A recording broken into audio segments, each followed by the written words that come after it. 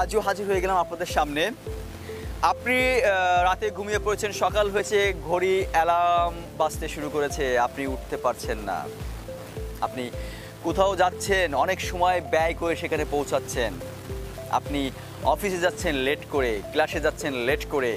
আপনি প্রচুর পরিমাণে ভিডিও গেম নিয়ে পড়ে আছেন, প্রচুর পরিমাণে আপনি ফেসবুক টুইটার নিয়ে আসক্ত হয়ে পড়েছেন। আপনার মাঝে রয়েছে এরকম এই রকম অনেক ব্যাড হ্যাবিট কীভাবে আপনি আপনার ব্যাড হ্যাবিটগুলো পরিবর্তন করবেন, সেই বিষয় নিয়ে কথা বলব আজকে আমি।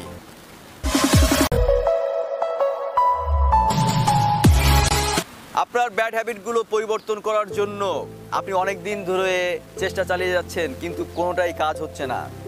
আপনি চাচ্ছেন আপনার ব্যাড হ্যাবিটগুলো আপনার জীবন থেকে চলে যান, কিন্তু কোনো কারণেই পারছেন না, কোনোভাবেই পারছেন না। আজকে আপনারা আমার টিপসগুলো ফলো করুন, আপনার ব্যাড হ্যাবিটগুলো কিন্তু দূর হয়ে যাবে। আপনার ব্যাড হ্যাবিটগুলো পরিবর্তন করতে হলে কয়েকটি টিপস আমি আপনাদেরকে আজকে শোনাবো। আপনি দেখুন, প্রথম টিপসটি হচ্ছে আপনি ছোট করে শুরু করুন।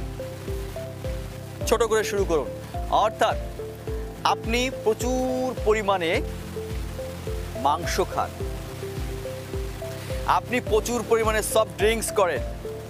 আপনি প্রচুর পরিমাণে স্মোকিং করেন। এইগুলো আপনি, আপনার এই স্বভাবটা পরিবর্তন করতে চাচ্ছেন। তাহলে কি করবেন? ছোট করে। অর্থাৎ আপনি যদি আজকে থেকে শুরু করে আগামী সাত দিন পর্যন্ত একটি রুটিন তৈরি করতে হবে।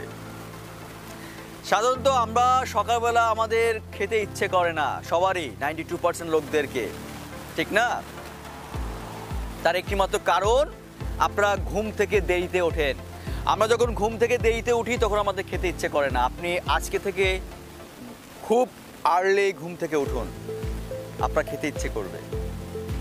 আমাদের কেন খেতে ইচ্ছে করে না? একটু মেডিকেল সায়েন্সের দিকে একটু আমরা দৃষ্টিটা ফিরিয়ে দিই। মেডিকেল সায়েন্স কি বলেছে? আমরা যখন রাতে ঘুমিয়ে পড়ি রাত জেগে অলরেডি রাতে আমরা খাবার পর, তিন ঘণ্টা পর আমাদের বিশ্রাম নিতে বলা হয়েছে মেডিকেল সায়েন্স আপনি যখন বিশ্রাম নেবেন না, আস্তে আস্তে আপা- আপনার স্টোম্যাকে এইচসিএল হাইড্রোক্লোরিক অ্যাসিড বৃদ্ধি পেতে থাকবে। অথচ আপনি যদি খেয়ে তিন ঘণ্টা পর পরই ঘুমিয়ে পড়তেন, তাহলে কিন্তু আপনার এই সেলটা রেজ করতো না, একটি লেভেলে থাকতো। আপনার হজম ক্রিয়া শুরু হয়ে যেত। আপনি ঘুমিয়ে পড়তেন, সকাল সকাল আপনার ঘুম ভেঙে যেত। আর আপনার সবচেয়ে মজার ব্যাপার হচ্ছে, আপনার এই সেলটা তো বাড়তোই না, ওটা বরং একেবারে আরও লো লেভেলে থাকতো। ব্যাড লাক আমরা যখন দেরি করে উঠি, আস্তে আস্তে আস্তে আস্তে এই সেল কিন্তু খাবার খুঁজতে থাকে। নির্দিষ্ট আট ঘণ্টা পর পর, চার ঘণ্টা পর পর এই সেল আমাদের পেটে কিন্তু বাড়তে থাকে। আমাদের খাবার যাবে ওটে কি ডাইজেস্টিভ করবে। কিন্তু আমাদের এই সেল যে স্টোমাকে খাবার পায় না, তখন কি হয়?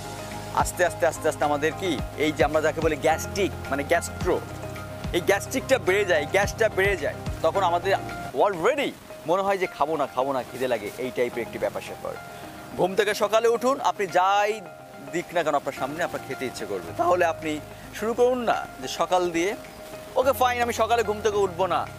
বাদ দেন। আপনি আমাকে বোঝান যে সকালটা বাদ দেন, আমি কীভাবে এই অভ্যাসটা ত্যাগ করব? আমি মাংস খাই, আমি সবজি খেতে চাই। ওকে ফাইন আপনি সকালে ওঠার দরকার নাই, দুপুরে নিঃসন্দেহে খিদে লাগে। আপনি দুপুরে, আপনি চেষ্টা করুন অল্প করে, প্রতিদিন নিয়ম করে সাত দিন অল্প করে একটু সবজি খান না, অল্প করে। ইনশাল্লাহ দেখবেন পরবর্তী সাত দিনে আপনার ব্রেন আপনাকে ক্লিক করছে, সবজি কোথায় সবজি কোথায় সবজি কোথায়? আমাকে সবজি দাও। কারণ এটা আমাদের হিউম্যান বডি এবার সৃষ্টি হয়েছে। আমাদের হরমোন রয়েছে।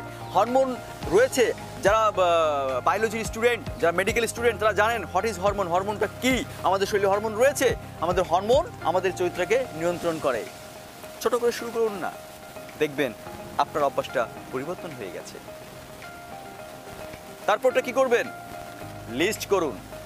কোন অভ্যাসটি আপনি আগে বাদ দিতে চান?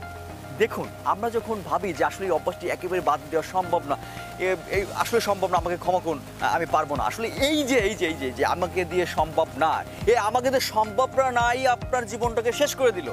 তথা আমাদের এই বাঙালি জীবনটাকে শেষ করে দিল রে ভাই, এই সম্ভব না নিয়ে। আমাকে দিয়ে সম্ভব না। এই যে আমাকে দিয়ে সম্ভব বা, সম্ভব না, এই কথাগুলোতে কেন কেন আমরা রপ্ত করেছি, এটা আমার বোধগম্য আসে না। আমি পারব, আমাকে দিয়ে হবে। এইটি ভাবুন না, আমি পারব, আমাকে দিয়ে হবে, তা না ভেবে আমাকে দিয়ে সম্ভব না। আমাকে দিয়ে অবশ্যই সম্ভব। তাহলে আপনি লিস্ট করে ফেলুন কোন অভ্যাসটি সবার আগে আপনি বাদ দিতে চাচ্ছেন। কারণ লিস্ট ছাড়া আপনি বাদ দিতে পারবেন না। আপনি সবজি খাবেন, আপনি সিগারেট কম করে খাবেন, আপনি আড্ডা দেবেন কম, রাত জাগবেন কম, সবগুলো একসঙ্গে আপনি পারবেন না। আমি বলে দিলাম, কারণ এটি এটি এটি কিন্তু একটি এইটি একটি আপনার কি? একটা চিকিৎসা। এটা একটা মেডিকেল সায়েন্স রে ভাই। আপনি পারবেন না। আপনাকে লিস্ট করতে হবে। আপনি কোন কাজটা বাদ দিবেন। আগে কোন কাজটা বাদ দিতে চাচ্ছেন, সেই কাজটা আগে আপনাকে করুন না। সেই সেই লিস্টটা আগে। আপনি লিস্টে করে আপনি সেভাবে চর্চা করা শুরু করুন। আপনি দেখবেন আপনি কিন্তু কি হয়ে গেছে? আপনার অভ্যাসটা ঠিক পরিবর্তন হতে শুরু করেছে। যারা নেগেটিভ কথা বলে অনেকে দেখবেন যারা নেগেটিভ কথা বলে এদেরকে এদেরকে সঙ্গে আরও বেশি করে মেশি। নেগেটিভ যারা কথা বলে তাদের সঙ্গে মিশবেন না। ভালো করে মনে রাখুন এই টিপসটি আরে বাদ দে দিন।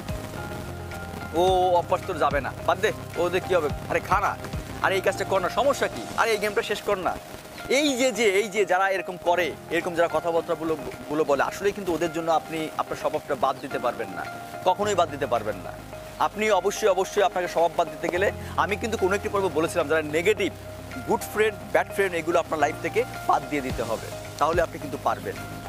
আপনি আপনার অভ্যাসটা বাদ দিতে গেলে আপনাকে আগে মনে মনে সিলেক্ট করে ফেলতে হবে যে আমি এই অভ্যাসটা বাদ দিতে চাচ্ছি। ঠিক না? এই যে গুড ফ্রেন্ড ব্যাড ব্যাড ফ্রেন্ডের কথা বলেছিলাম, এই ব্যাড ফ্রেন্ডের আন্ডারে যাবেন না। দেখবেন আপনার অভ্যাস কিন্তু বাদ হয়ে গেছে এবং আপনি সাকসেস হয়েছেন।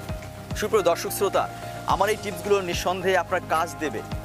এই প্রত্যয় নিয়ে কিন্তু আমি বারবার আপনাদের সামনে আসি। একটি উদাহরণ দিয়ে আজকে আমি শেষ করে দিব। কীভাবে আপনি আপনার ব্যাড হ্যাবিটটা চেঞ্জ করে ফেলবেন। দেখুন, ওই যে বলেছি আপনি একটি রুটিন করতে হবে। সহজ, সরল রুটিন যারা দেরি করে ঘুম থেকে ওঠেন, আপনারা ভাবেন যে এই অভ্যাসটা আমাকে দিয়ে সম্ভব না। এই উদাহরণ দিয়ে আজকে আমি আমার পর্ব শেষ করে দিব। দেখুন, আপনি আজকে থেকে একটু চেষ্টা করুন না যে আমি আজকে থেকে আগামী এক সপ্তাহ আমি দেরি করে কেন? আমি যদি তিনটে ঘুমাতে যাই, তাহলে আমি একটায় ঘুমাতে যাব। তারপর দিন কি করব? বলেন তো, বারোটায় ঘুমাতে যাব, এগারোটায় ঘুমাতে যাব, দশটায় ঘুমাতে যাব ইনশাল্লাহ হয়ে যাবে। আপনাকে একটু সময় নেবে। এই যে সময় নেবে, এই কথাটাকে আপনার বিশ্বাস করতে হবে। আপনার নিজে, নিজেকেই বিশ্বাস করাতে হবে যে আপনি পারবেন। এই জন্য আজকে থেকে আপনি চেষ্টা করুন। সুপ্রিয় দর্শক শ্রোতা, কথা বলতে বলতে অনুষ্ঠানে একেবারে শেষ পর্যায়ে চলে এসেছি। যে যেখানে আছেন, সুস্থ থাকবেন, ভালো থাকবেন, সবসময় পরিবারের সঙ্গেই থাকবেন। এই প্রত্যয় নিয়ে বিদায় নিচ্ছি। আল্লাহ হাফেজ।